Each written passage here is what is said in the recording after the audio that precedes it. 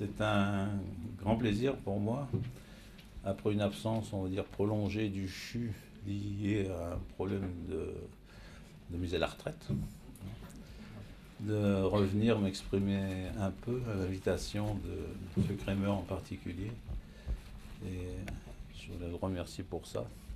C'est pas si souvent qu'on a l'occasion de sortir de sa torpeur. Donc moi je m'appelle Chopin.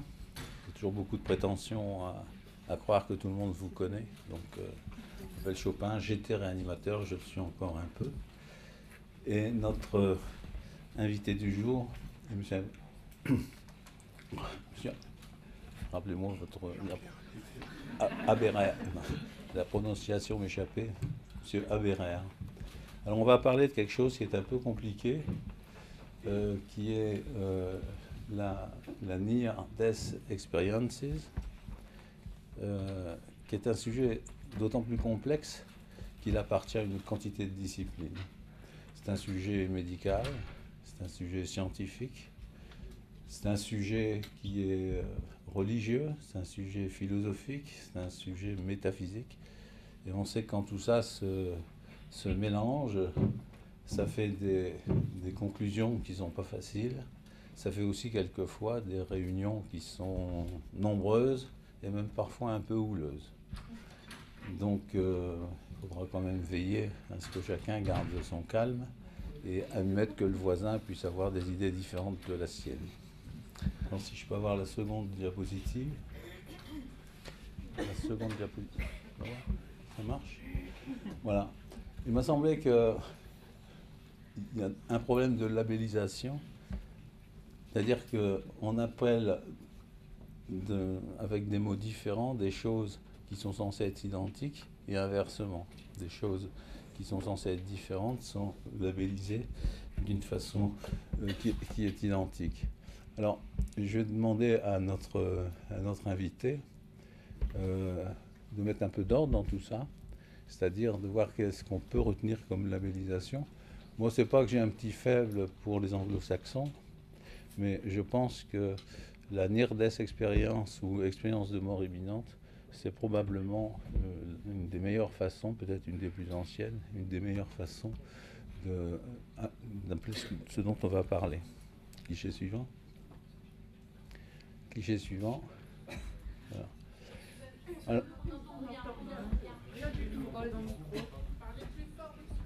Je vais.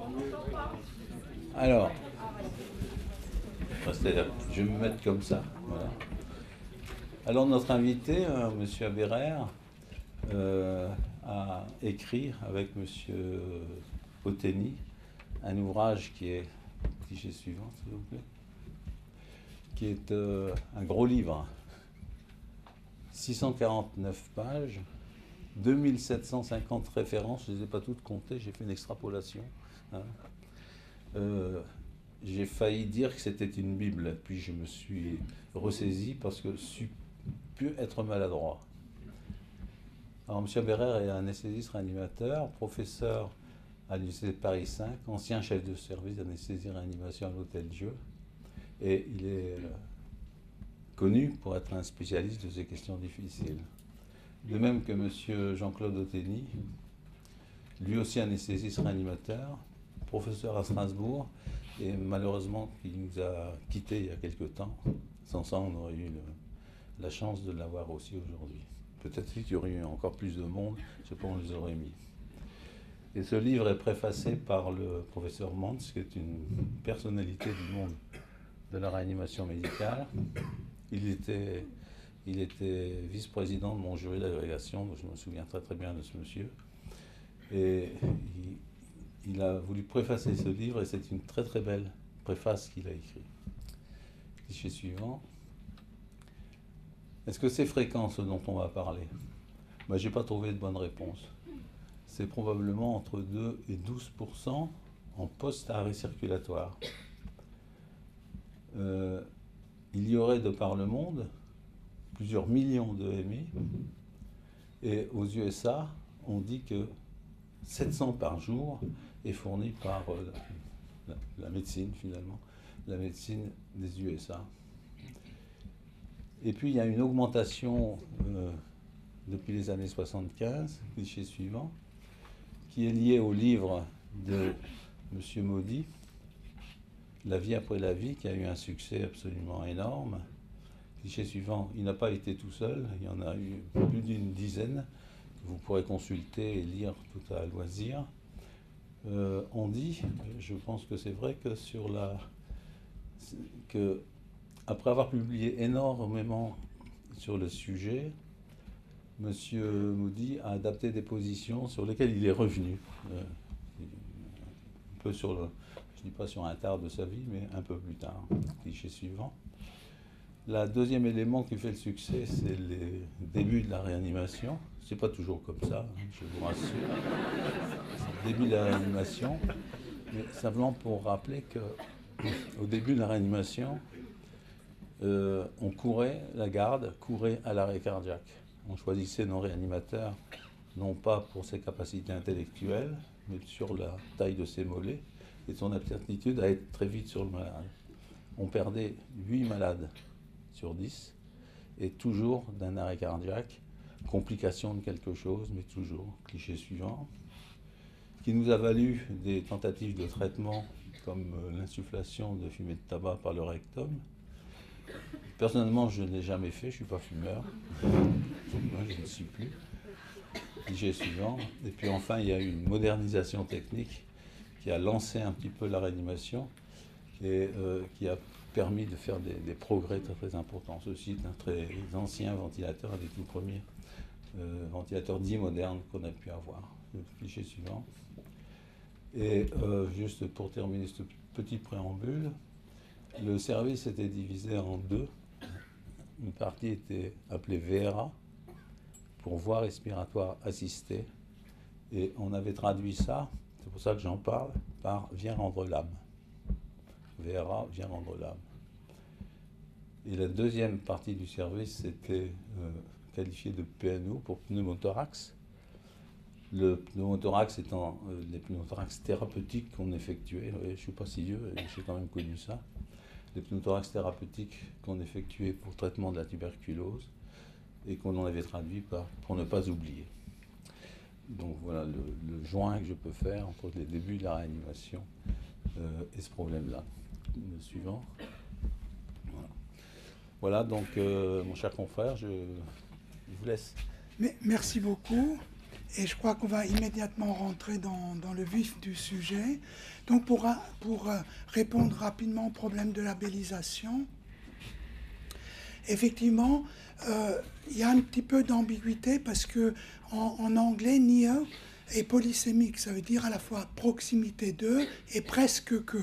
C'est pour ça qu'en français, on dit souvent soit expérience de mort imminente ou expérience de mort approchée. Donc c'est un petit peu les deux. Alors, depuis euh, quelques décennies, donc c'est un produit effectivement de la réanimation moderne, en fait, ce sujet a occupé de façon très importante les médias, la littérature euh, grand public, mais également euh, les, même la, les films, etc. diapositive suivante. Et vous voyez que vous pouvez trouver sur YouTube toute une série de, euh, euh, d'expériences de, ce type-là. Vous voyez Sharon Stone, au, euh, Oprah Winfrey et Shaw. Vous avez au, moins une dizaine de cas qui rapportent leur expérience de NDE. Diapositive suivante. Également, par exemple, l'année dernière, une publication d'une bande dessinée de Mathieu Blanchin qui s'est retrouvé dans le coma à la suite d'une euh, euh, intervention pour une tumeur euh, cérébrale et qui parle de son quotidien dans le coma et qui a été effectivement l'expérienceur de plusieurs épisodes de NDE. En face de cette très importante masse de données dans l'édition, en fait, on a un paradoxe, c'est qu'il y a très peu de publications scientifiques. Et plusieurs millions d'occurrences sur Google font face à quelques centaines de publications seulement dans PubMed, par exemple. Donc, vous avez d'une part un sujet qui intéresse le grand public et un sujet qui, en fait, n'a que très peu intéressé le corps médical. Donc, euh, on pourra peut-être dans la discussion aborder, aborder ce point-là. Diapositive suivante. En fait, le sujet a véritablement fait irruption euh, dans euh, la sphère médiatique avec la publication du livre de Moody, qui est un médecin psychiatre qui a également fait une euh, thèse de philosophie en 1975. Donc en 1975, il a publié un livre qui s'appelle Vie après la vie. Et vous voyez d'emblée, il y a eu cette ambiguïté qui est liée au fait de les éditeurs ont dit les témoignages qui révèlent qu'il y a une vie après la vie. Et on n'en est pas sorti un peu de cette ambiguïté entre le côté médical de l'expérience et un peu le côté transcendantal, philosophique, religieux de cette expérience. Diapositive suivante. Donc, 75. Et Raymond Moody a défini la NDE comme étant une expérience personnelle, subjective, non perceptible par un observateur extérieur. Donc tout le problème de la difficulté de l'étude de ce type d'expérience. Elle est rapportée par un individu qui s'est approché transitoirement de la mort, l'exemple typique étant l'arrêt cardiaque, ou confronté à des situations de grand danger physique ou émotionnel intense, et donc sans forcément qu'il y ait une perte de conscience totale. Au niveau de, euh, des traités de psychologie, de médecine, elle fait partie des états modifiés de conscience. Diapositive suivante. Moody, d'emblée, dans son livre, il a rapporté à peu près 150 témoignages et il a un petit peu analysé donc ce qu'on appelle la phénoménologie de ces expériences. il a retenu à peu près une quinzaine d'items. On ne va pas tous les voir, mais on va voir les, les plus importants. Et donc, on va les passer en revue très rapidement.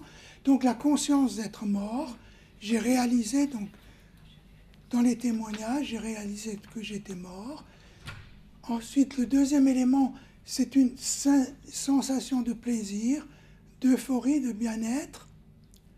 Alors, les, auteurs disent, cependant, je n'étais pas triste, je me sentais enchanté et baignant dans un sentiment de joie. Ensuite, il y avait l'expérience hors du corps, ou OBE, Out of Body Experience, ou décorporation je pouvais voir le personnel médical s'occuper de moi, je voyais la scène d'une nouvelle perspective, c'était comme si j'étais le directeur de la scène et non l'acteur. Ensuite, la perception d'un tunnel, puis j'ai vu un tunnel sombre en face de moi et je ne pouvais pas m'imaginer ce qu'il y avait à son extrémité. La perception d'une lumière brillante, j'ai vu une lumière devant moi, je n'avais jamais vu une lumière aussi brillante, et ce qui, d'après les témoins, caractérise cette lumière, elle n'est pas aveuglante. Donc elle est brillante, mais non aveuglante. Ensuite, la perception d'un environnement paradisiaque ou infernal, je savais que j'allais au paradis. Ensuite, la vision de personnes décédées ou de figures religieuses. Alors, en fonction de la religion ou euh, de, euh, de euh, l'expérience du sujet, c'est Dieu, Christ, Moïse, Mahomet ou Krishna, ou d'entités non définies. Soudainement, j'ai vu une silhouette humaine, une présence indéfinie. Enfin, aussi un item très caractéristique de cette expérience, c'est la revue de la vie passée ou une mémoire panoramique. J'ai vu défiler le film de ma vie entière, une série de flashbacks que je ne pouvais pas contrôler. C'est comme si je me les voyais à travers la vitre d'un train. Ensuite, c'était une perception très différente du temps. Autrement dit, l'espace-temps était totalement différent. J'étais dans un environnement intemporel. J'y étais une minute ou un jour, je ne pouvais pas le savoir. Ensuite, la perception de son et de musique. J'ai entendu des sons, des, des mélodies célestes que je ne pouvais pas aisément définir. Enfin, élément très important, j'ai rencontré le sujet en général, rencontré une frontière, une limite, un désir de ne pas revenir, mais en fait, la personne rencontrée m'obligeait à retourner donc dans la vie de tous les jours, et ce retour est souvent vécu de façon pénible. Enfin, quand on interroge les sujets, ils parlent d'une expérience indisible, difficile à décrire avec le vocabulaire inhabituel, et surtout, c'était une expérience réelle, voire hyper réaliste, donc ce n'était pas un rêve comme d'habitude ou une hallucination, et la mémoire reste vivace, persistant dans le temps. Donc l'expérienceur, qui est celui qui est qui a une expérience de, mort approchée ou de mort imminente, doit passer par des mots et seulement des mots pour transmettre des expériences qui dépassent complètement le pouvoir des mots. Enfin, élément également assez constant de ce type d'expérience, c'est qu'au sortir du coma, l'expérienceur a une nouvelle conception de la vie et de la mort. Il n'a plus mort il n'a plus peur de la mort. Il pense que la mort est quelque chose qui peut éventuellement être agréable et surtout, il a modifié sa conception de son environnement, de son entourage et il considère qu'il faut faire le bien dans le reste de sa vie. L'élément aussi qu'il faut reconnaître, c'est qu'il n'y a pas de NDE identiques. D'une part, toutes les NDE sont des expériences subjectives personnelles qui comportent rarement tous les items décrits par Moody. Le plus souvent, il y a en fait donc un, deux, trois, voire plus de ces items. Ce qui pose d'emblée le problème également de la définition de ces expériences rapportées par par les sujets au sortir du coma. Et pour les labelliser, justement, il y a différents auteurs qui ont euh, défini peu des critères pour définir ces expériences. Et il y a par exemple notamment Grayson qui a défini ces critères jusqu'à 30 points. Et on définit en fait une NDE à partir de 7 points et plus. Donc il y a un problème déjà de définition et vraisemblablement que dans la masse des témoignages, un certain nombre de témoignages n'étaient pas vraiment des NDE.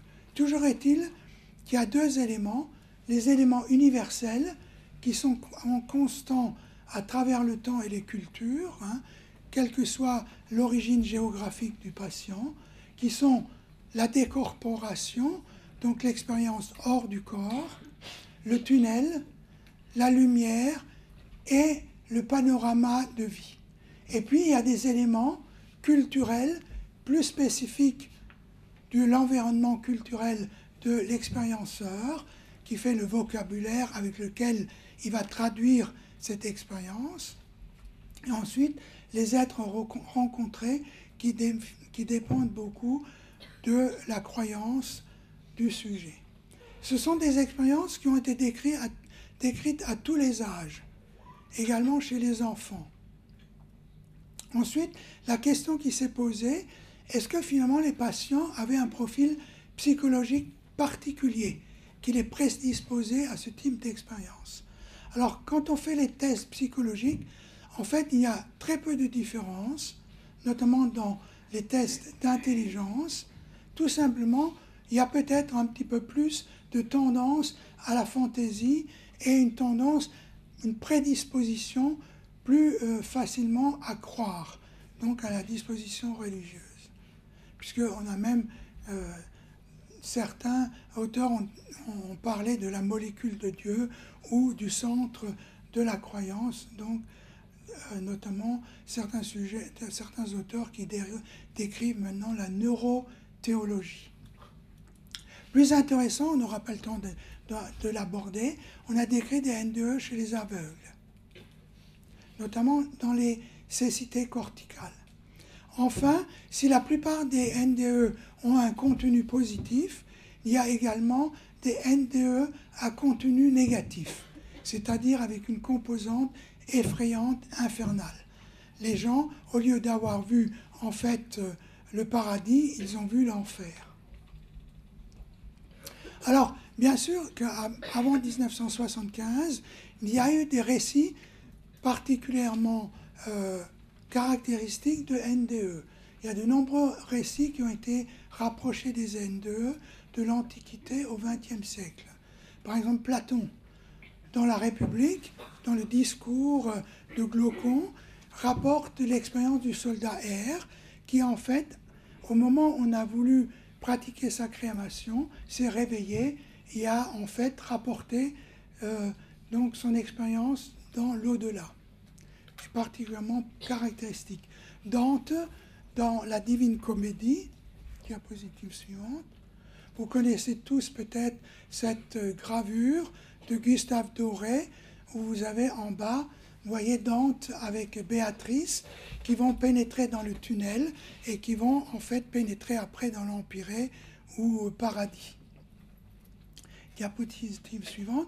On a également trouvé une, avec un collègue euh, anglais à la British Library une, une, une expérience particulièrement caractéristique de Anne Green, rapportée par un étudiant d'Oxford au, début du XVIIe siècle, Anne Green était une jeune femme qui euh, a, pratiqué un avortement et qui a été condamnée à mort à la pendaison. Et qui, en fait, quand on l'a dépendue, est revenue à la vie. Et donc, elle a rapporté une expérience particulièrement caractéristique. À l'époque, les pendus qui, éventuellement, lorsque la corde cassait ou qui revenaient à la vie, étaient, euh, avaient la vie sauve. Hein. On ne les rependait pas une deuxième fois.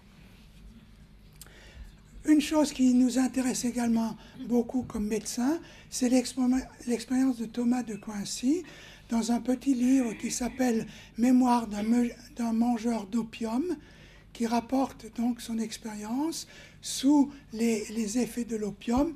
Et en fait, on connaît bien que la morphine ou l'opium peut induire euh, des, des hallucinations qui se rapprochent un petit peu de ce qu'on observe dans les NDE.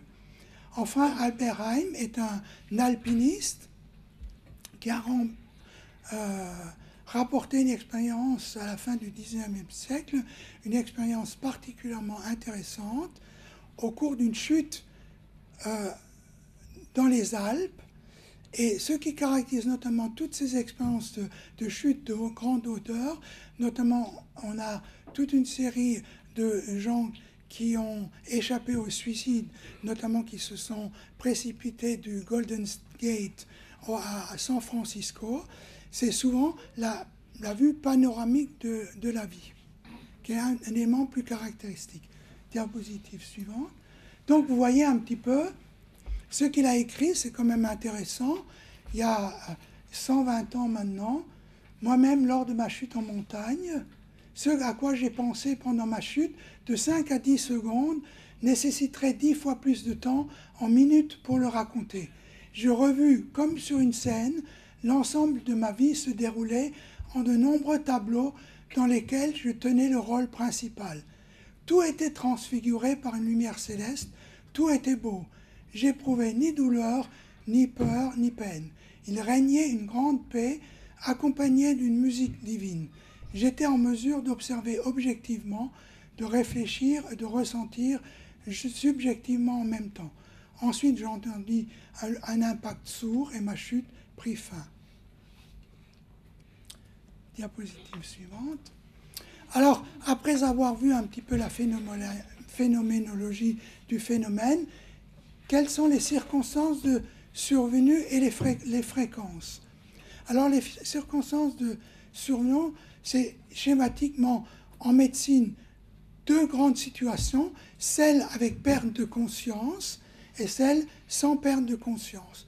Donc essentiellement les arrêts circulatoires, les comas traumatiques, mais également les accidents, les urgences médicales, les infections graves, notamment les, les septicémies, les méningites, au cours des, des, accouchements avec les hémorragies postpartum.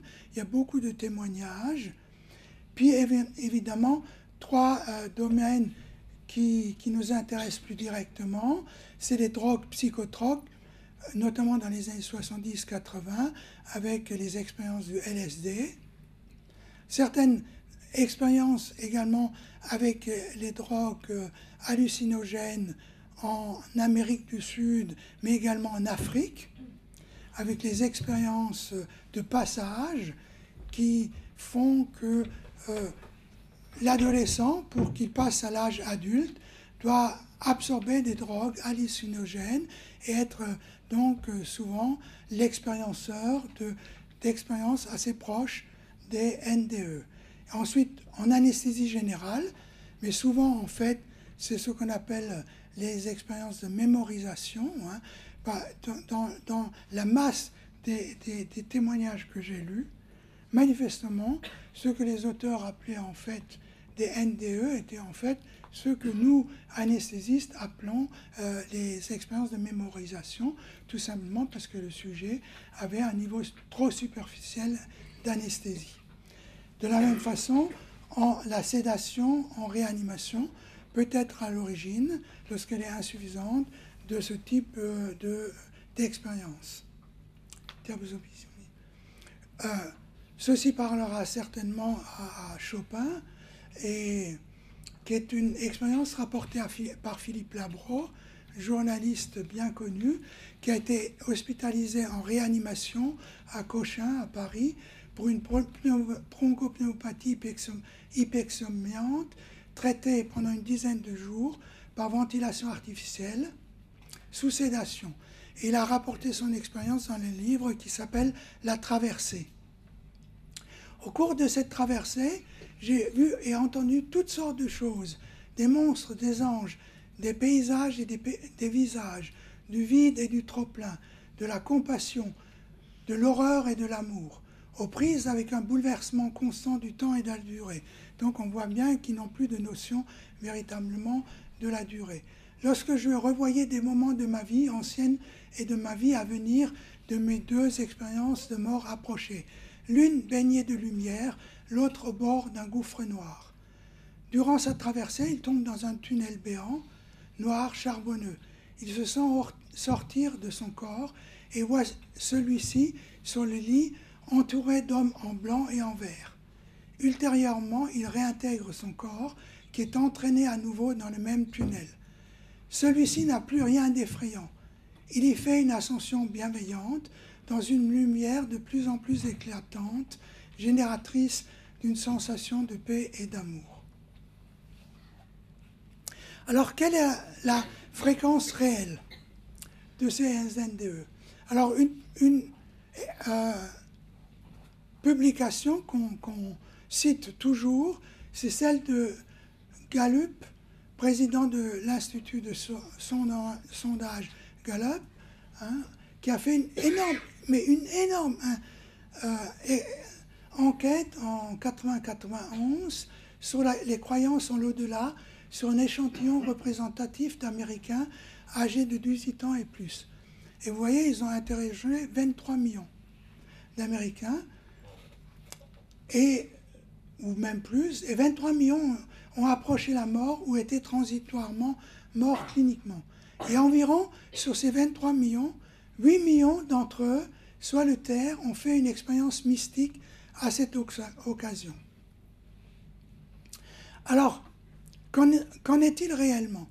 En, tant que médecin scientifique, bien sûr, les témoignages spontanés, c'est très intéressant, mais on aimerait quand même avoir quelques études prospectives. Alors qu'en est-il des études prospectives? Et bien sûr, les arrêts cardiaques, c'est l'exemple type où on peut faire des études prospectives. Alors il y en a très peu, mais il y en a quand même quelques-unes dans euh, la littérature, publiées quand même dans des revues scientifiques de haut niveau. Celle qu'on cite toujours, c'est celle qui a été faite par Val Lommel en Hollande en 2001. Étude prospective de 88 à 92, avec ce qui est intéressant, suivi de 2 à 2 à 8 ans des sujets. Donc, ils ont 344 arrêts cardiaques réanimés avec succès dans les 10 hôpitaux. Donc, vous voyez que la plupart étaient des arrêts cardiaques intra-hospitaliers et souvent la perte de connaissance, de conscience, était inférieure à 5, à 5 minutes.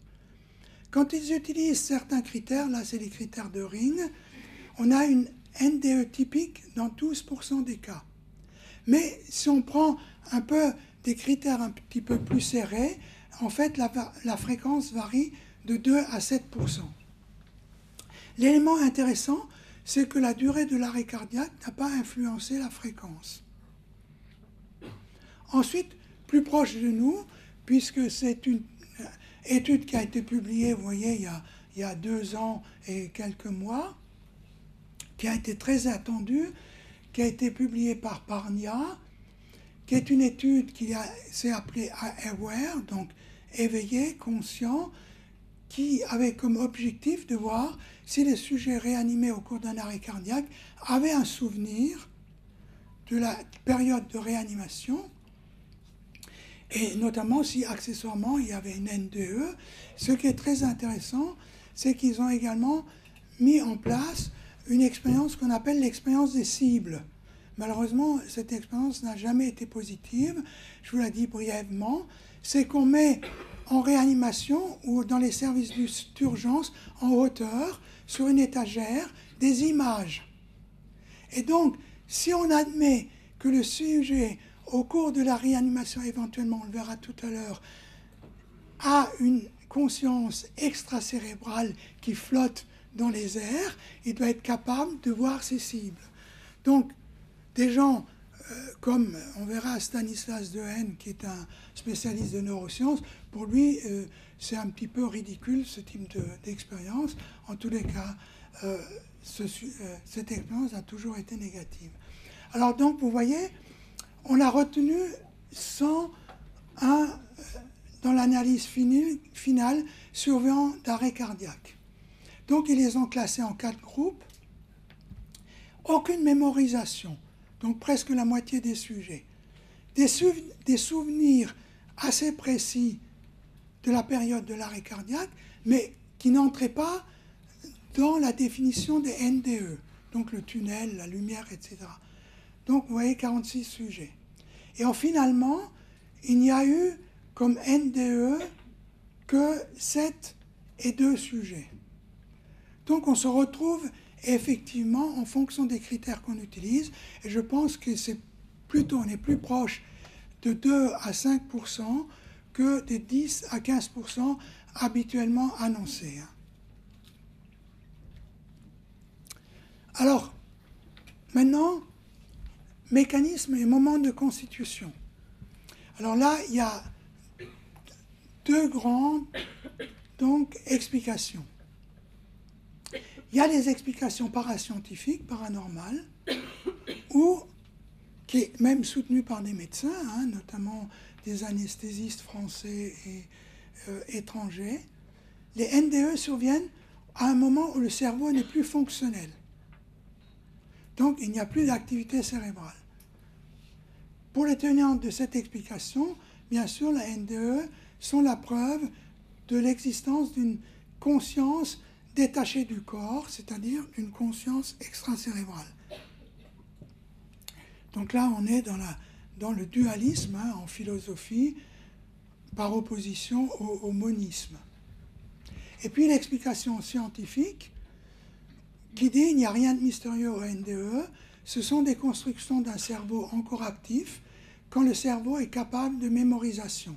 C'est-à-dire que les NDE ont une origine endogène ou autogène. On peut citer, non on peut citer un, prix Nobel de médecine hein, récent, Eric Kandel, spécialiste des neurosciences, spécialiste de la mémoire, qui pour lui, tous les processus mentaux, même les processus psychologiques les plus complexes, sont le résultat de l'activité cérébrale. Alors, les NDE extracérébrales, donc la, la conscience continuerait d'exister indépendamment du corps, dans une dimension, un monde invisible et immatériel. Donc elle aurait une origine exogène. La conscience serait donc quelque chose de cosmique, le cerveau n'étant plus finalement le créateur ou celui qui est à l'origine de la conscience, mais n'agirait plus que comme en quelque sorte un récepteur radio de notre conscience extracorporelle. Alors grâce au NDE, l'homme aurait le privilège de pouvoir accéder à cette conscience élargie cosmique. Alors, ceux qui sont les tenants de, euh, notamment de cette thèse se basent notamment sur une expérience très célèbre qui est l'expérience de Pamela Reynolds. Diapositive suivante. Pamela Reynolds est une jeune femme qui a été opérée d'un anévrisme intracérébral sous hypothermie profonde. Elle a été rapportée par Sabom en 98. Or, en hypothermie profonde, vous avez un arrêt complet de l'activité cérébrale. Et au moment où elle est sortie donc de son intervention, voilà ce qu'elle a rapporté. Après avoir perdu connaissance, suite à l'injection de pain total, elle a repris conscience lors de la craniotomie et elle est sortie de son corps par le sommet de son crâne. Elle se souvient du rasage de sa tête, de la trépanation, de la salle d'opération et des personnes qui s'y trouvaient. De l'aine, canulation vasculaire, venait une voix féminine, celle de l'assistante du chirurgien, disant que les vaisseaux étaient trop étroits, ce à quoi une voix masculine, celle du chirurgien, répondit d'essayer de l'autre côté. Ultérieurement, elle rencontra des êtres chers décédés, puis elle revint à proximité de son, corps en compagnie de son, oncle, de son oncle décédé. Mais compte tenu du mauvais, du mauvais état de son corps, elle ne voulut pas y rentrer à nouveau. Finalement, c'est son oncle qui lui donna l'impulsion nécessaire pour y rentrer. Cela fut douloureux, comme une plongée dans un bassin rempli d'eau glacée. Alors, on n'a pas le temps euh, de s'apesanteur de, discuter de cette expérience, de ce, de ce témoignage de Pam Reynolds, mais il a été très largement discuté, notamment par un anesthésiste hollandais qui s'appelle Verley, et dont toutes les informations peuvent être trouvées sur Internet. Alors donc, pour les tenants d'une conscience extracérébrale, vous voyez donc les fonctions vitales normales, puis vous tombez dans le coma, vous êtes à proximité immédiate de la mort, puisque abolition irréversible des fonctions cérébrales, là on est dans la mort cérébrale, le coma dépassé, donc vous êtes à proximité immédiate, vous franchissez cette barrière et progressivement les fonctions vitales se rétablissent. Et donc la NDE se construit à ce moment-là. Diapositive suivante. Euh, ces hypothèses donc extracérébrales se basent notamment sur toute une série de données physiques. Donc, ils se basent sur un certain nombre de scientifiques, et donc je vous en cite quelques-unes. La conscience holographique de Pribram, donc la conscience, en, fait, c'est un, énorme hologramme. L'hypothèse de la conscience matière superlumineuse qui est un physicien qui s'appelle Dutheil de, Toulouse, qui a décrit en fait des particules qu'on n'a jamais euh, en fait euh, identifiées, qui sont les brachions et les bradions. Une qui est plus intéressante, qui est celle de Bohm, qui est l'hypothèse de la conscience quantique, qui est basée sur la physique quantique, pour, qui est avancée pour expliquer la relation conscience cerveau. En effet, la physique quantique établit que deux particules peuvent être en fait en communication à distance. Et on sait bien que la physique quantique établit un principe d'incertitude ou de non-localité qui dit que quand vous savez la localisation d'une particule, vous n'en connaissez pas son énergie. Et donc, en fait, disent que cerveau et conscience peuvent être parfaitement dissociés et communiquer entre elles. Le problème que les scientifiques en fait opposent à ce type de théorie, c'est qu'on n'a jamais en fait établi que les concepts du monde subatomique s'appliquent au monde macroscopique. Et en fait, le fonctionnement de notre cerveau, et notamment de nos neurones, obéissent jusqu'à un nouvel ordre, en fait, à la physique et à la physiologie classique. Toujours est-il que euh, toute une série de, de, scientifiques, et notamment de médecins anesthésistes, se sont bien sûr engouffrés dans ces explications. Et par exemple, vous avez là un médecin anesthésiste de Toulouse qui est un fervent défenseur de cette théorie. Et vous voyez qu'il a récemment publié un livre, Les preuves scientifiques d'une vie après la vie. Et l'autre, qui est un neurochirurgien américain, qui maintenant parcourt le monde en faisant des conférences, qui, euh, comme tout, euh, en fait, euh, américain qui se respecte, fait payer ses conférences, hein, et qui a publié, donc c'est en, livre de poche, hein, c'est pas très cher, donc vous pouvez l'acheter sans vous ruiner, la preuve du paradis, donc voyage d'un neurochirurgien dans l'après-vie.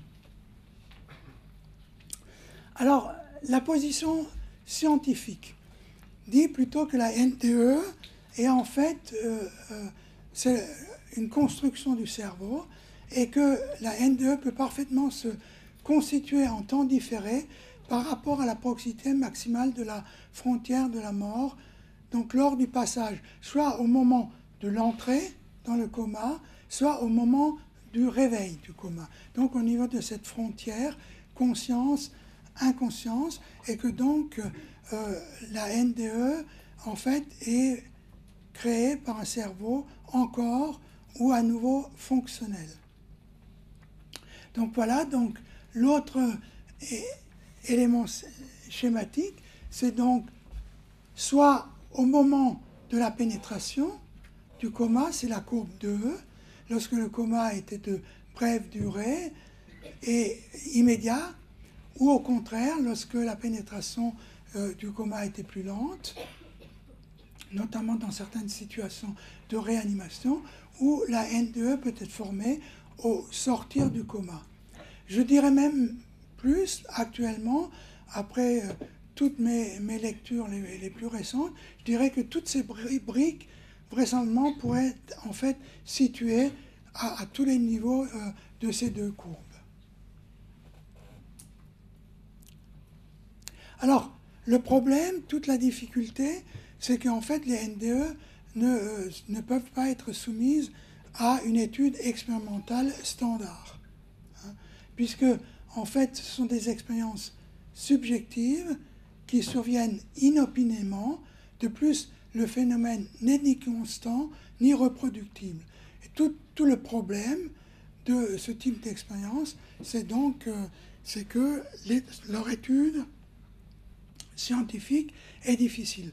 Donc en fait, il faut vraisemblablement étudier certaines données de, de ces NDE.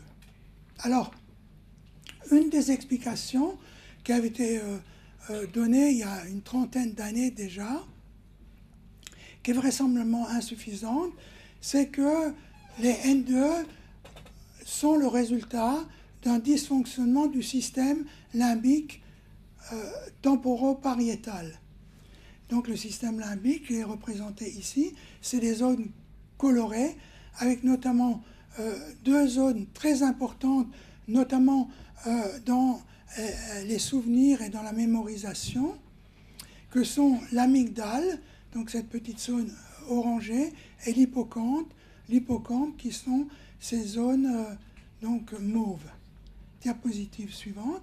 Et donc, une explication un petit peu schématique, qui est en fait insuffisante, hein, qui montre que les différents facteurs déclenchant de la NDE vont agir soit sur le système limbique, soit se projeter sur un certain nombre d'aires associatives, notamment les lobes temporaux, mais également le cortex pariétal et préfrontal, tout le système neuronal support de la mémoire et du contenu de NDE et aboutir à une NDE. Alors, il y a quand même quelques éléments de réponse scientifique, c'est que un des éléments très importants euh, des NDE, c'est l'expérience hors du corps.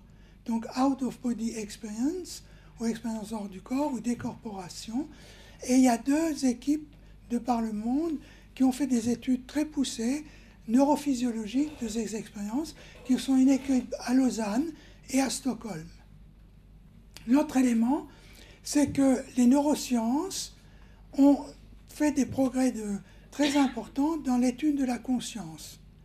Il y a notamment euh, deux équipes euh, importantes, une à Liège, qui est celle de Stephen Lawrence, qui est la Coma Study Group, qui étudie donc tous ces patients qui sont en différents stades de coma, et notamment qui étudie euh, les patients qui ont des états ex-végétatifs, ou qu'on appelle maintenant plutôt les états à conscience minimale, mais également ils ont étudié toute une série de patients qui avaient des locked-in syndrome, et donc ils ont fait des études neurophysiologiques avec l'imagerie fonctionnelle très poussée et ont donné, donné des choses très intéressantes sur la conscience. Et à côté de ça, les neurosciences cognitives qui font plutôt partie de la psychologie expérimentale. On a une équipe française à Paris, Stanislas Dehaene, qui a beaucoup publié sur la conscience, qui euh, l'année dernière a publié un livre grand public qui s'appelle Le Code de la conscience, où il a fait un petit peu une synthèse des recherches de les neurosciences cognitives sur la conscience. Alors, les expériences hors du corps font partie de ce qu'on appelle les autoscopies, hein, bien décrites à, la fin du 19e siècle par les psychiatres français, et qui comportent trois caractéristiques. La sensation d'être en dehors de son corps physique, c'est la décorporation ou désincarnation. La perception que le soi est localisé à distance, dans une position élevée, donc c'est typiquement les sujets qui sont en décubus dorsal dans leur lit de réanimation ou sur la table d'opération et qui en fait flottent au plafond de la salle d'opération ou de la salle de, de réanimation. L'expérience de voir son propre corps, c'est ce qu'on appelle l'autoscopie, à partir d'une perspective élevée. Donc le corps est dédoublé. Alors l'OBE est un exemple extrême d'une altération de la conscience du soi. Donc c'est toute l'étude des neurosciences qui s'intéresse pas seulement à la conscience, mais également à la conscience de soi, donc du soi en tant que sujet qui, qui voit donc lui-même. Donc c'est également actuellement tout un centre de recherche. Il y a à peu près une dizaine de, de revues scientifiques qui ne sont en fait consacrés qu'à ces études. Donc euh, ça part. Donc vous voyez schématiquement, voilà euh, l'expérience hors du corps. Le sujet voit lui-même en dessous, donc souvent immobile ou faisant les gestes qu'il faisait avant cette expérience. Dans l'ensemble, les OBE sont de brève durée. Elles sont peu fréquentes chez le même sujet. On peut voir ces expériences chez le sujet normal, il y a même des sujets qui sont capables de déclencher à volonté leur expérience hors du corps. Alors vous avez des, centaines de livres, c'est ce que les sujets appellent le voyage astral, et même sur Internet, vous avez faites le voyage vous-même, astral vous-même, temps et temps, achetez ce livre et il va vous montrer comment vous pouvez sortir de votre corps par des exercices particuliers. De façon plus pragmatique, en, médecine, il y a toute une série de facteurs favorisants, soit des affections neurologiques, des affections psychiatriques, la prise de drogue ou l'anesthésie. Les facteurs neurologiques, surtout euh, les migraines, les épilepsies, plus rarement des troubles vestibulaires, euh, notamment les, acouphènes très importantes. Alors, les expériences ont, débuté en 2000 quand justement l'équipe de Olaf Palme a écrit une patiente. C'est une publication qui a été faite quand même dans Nature en 2002 c'est, vous savez, une des, façons de traiter les, épilepsies partielles résistantes, c'est d'implanter des électrodes dans le cerveau et de les stimuler. Donc c'est une patiente qui avait des électrodes dans le cerveau. Et vous voyez, quand on stimule une certaine zone, qui est ici jaune, qui est la jonction temporopariétale, on peut déclencher à volonté des expériences hors du corps. Donc on montre donc a contrario que c'est une zone, cette jonction temporopariétale, très importante dans les expériences hors du corps. Voilà, alors il y a toute une série de publications, il y en a maintenant au moins une cinquantaine de patients qui ont été décrits, donc avec des électrodes implantées. On peut également maintenant le faire de façon non traumatique par des stimulations magnétiques. Hein. on a un casque qui permet euh, de faire une stimulation magnétique et de euh, recueillir les ondes magnétiques. Et vous voyez qu'on arrive toujours là, ces trois patients différents, il y a toujours cette zone de la jonction temporopariétale, en fait, qui s'allume quand le sujet indique qu'il fait en temps réel une expérience hors du corps. Alors, toutes ces expériences montrent que ces, OBE sont en faveur d'une construction par le cerveau du souvenir de l'événement. C'est que, en fait, l'expérience hors du corps n'est pas, n'est pas une réalité.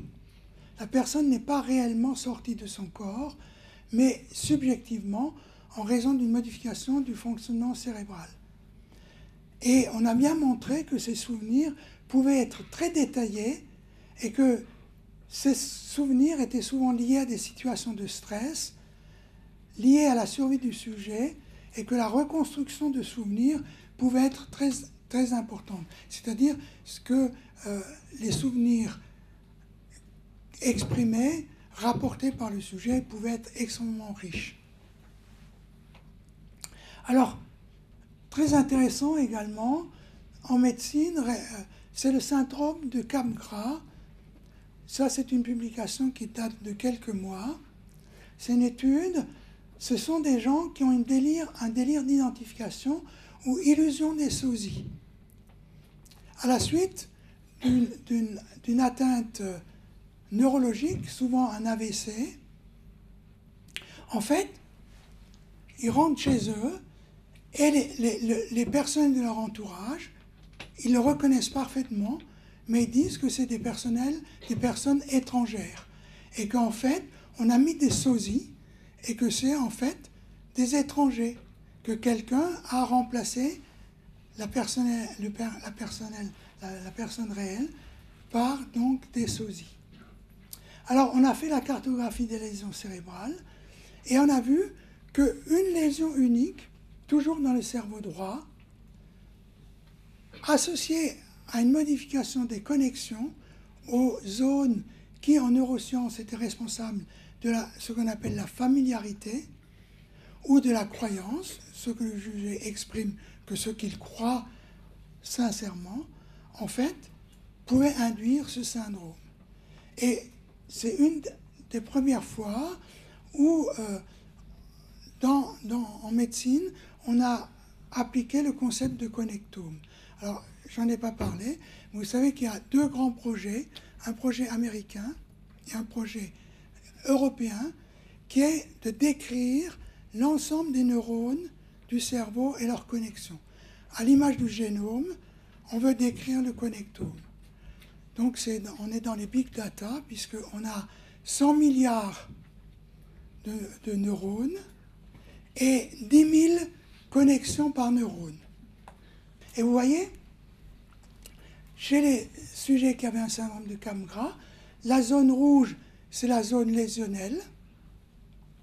Et la zone jaune, c'est la zone de connexion qui est allumée par cette lésion.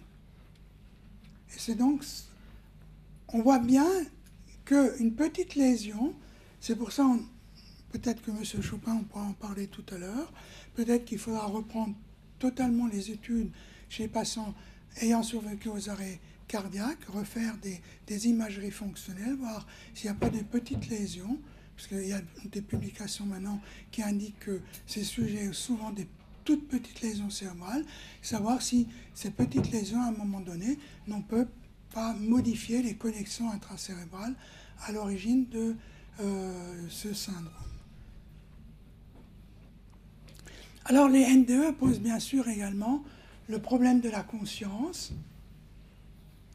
qui, pour les scientifiques, reste un peu l'Everest des sciences. C'est-à-dire que c'est le dernier grand problème scientifique, c'est-à-dire comment mon cerveau pense-t-il, qu'est-ce que ce moi qui dit je pense, que deviendra-t-il après ma mort, toutes ces pensées viennent-elles seulement de mon cerveau hein? Ou bien suis-je, au moins en partie, un pur esprit fait d'une substance incorporelle? Alors bien sûr, De Haine, en tant que scientifique, lui répond que, bien sûr, la conscience est un, produit de notre cerveau. Alors, élément très intéressant, Laurens, qui est donc médecin, qui s'intéresse plutôt aux gens dans le coma, lui a décrit un concept très intéressant qu'il a d'ailleurs euh, publié il y a, deux ans dans, dans Anesthésiologie, qui est une revue euh, anesthésie-réanimation. Il, il, il, dissocie conscience, connectivité, hein, vous voyez toujours connectome, connexion, et réactivité. Donc la connectivité, c'est la connexion de la conscience avec le monde environnant. Et la réactivité, c'est la réponse motrice spontanée ou déclenchée. Donc on sait bien tous qu'on peut parfaitement être inconscient et non réactif. Les gens qui sont plutôt dans les neurosciences cognitives du côté psychologie, comme Stanislas Dehaene, décrivent la prise de conscience sous le terme de accès à la conscience. En fait, l'accès à la conscience, dans le concept de Stanislas Dehaene, c'est un peu la connectivité de, de, de Stephen Lawrence. Ce qu'on sait, c'est que conscience et connectivité sont soumis à des circuits neuronaux différents. Et que, en fait, on peut avoir une liaison de l'un sans avoir une liaison de l'autre. Et par exemple, dans le sommeil paradoxal, qui est le sommeil pendant lequel se produisent la majorité des rêves, j'ai pas eu le temps, mais les paralysies du sommeil paradoxal, ou ce qu'on appelle les rêves lucides, donnent souvent des expériences très proches des NDE, les NDE-like. Hein. Et donc, Laurence a parfaitement montré que le sujet pouvait être conscient mais déconnecté et réactif. ça, ça nous intéresse en réanimation. Et donc, vous pouvez appliquer ce principe parfaitement au concept des NDE. Vous pouvez parfaitement envisager un sujet transitoirement déconnecté et réactif, mais conscient. Et donc, à un moment, possibilité de stimuler, notamment ce que Stanislas Dehaene a montré, euh, donc une stimulation subliminale et qui va secondairement permettre aux circuits neuronaux et aux aires associatives un accès à la conscience. Et alors, ça c'est très, clairement démontré hein, avec les expériences de Stanislas Dehaene. Il y a de très belles données dans son livre, Le Code de la conscience. C'est que toute une série d'informations sensorielles peuvent être traitées de façon inconsciente, c'est-à-dire de façon subliminale, sans accès à la conscience. Et que l'activité inconsciente met en jeu le lobe temporal. Donc on se retrouve un petit peu avec cette jonction temporopariétale décrite par notamment euh, Blanquet. Mais la conscience complète sollicite de nombreuses zones corticales. Et donc il y a toute une série d'interconnexions qui se font de distance à distance, notamment au niveau pariétal et préfrontal, ce qui, dans la théorie euh, neurocognitive de Haine, a, décrit une de ces théories, bon, elle est discutée, il y en a beaucoup d'autres, l'espace de travail neuronal global.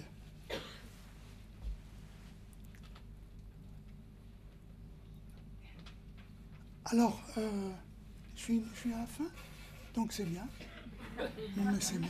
Donc, en, conclusion, dans ces expériences, vous voyez, c'est un petit peu tiré d'une bande dessinée qui est parue il y a, l'année dernière euh, dans le supplément euh, Magazine du Monde, dans ces, donc, qui, faisait un peu le résumé des NDE. En conclusion, dans ces expériences, il n'y a rien de paranormal juste un dysfonctionnement du cerveau. Ces visions ne sont donc pas une revue de l'existence, sont pas une preuve de l'existence de l'au-delà. Tu as l'air déçu Un peu Si on y dégomme la petite souris, le Père Noël, vous mettez 2017, la reprise en 2017, ça c'est pour nos hommes politiques. Et maintenant l'au-delà, que nous reste-t-il? Je vous remercie.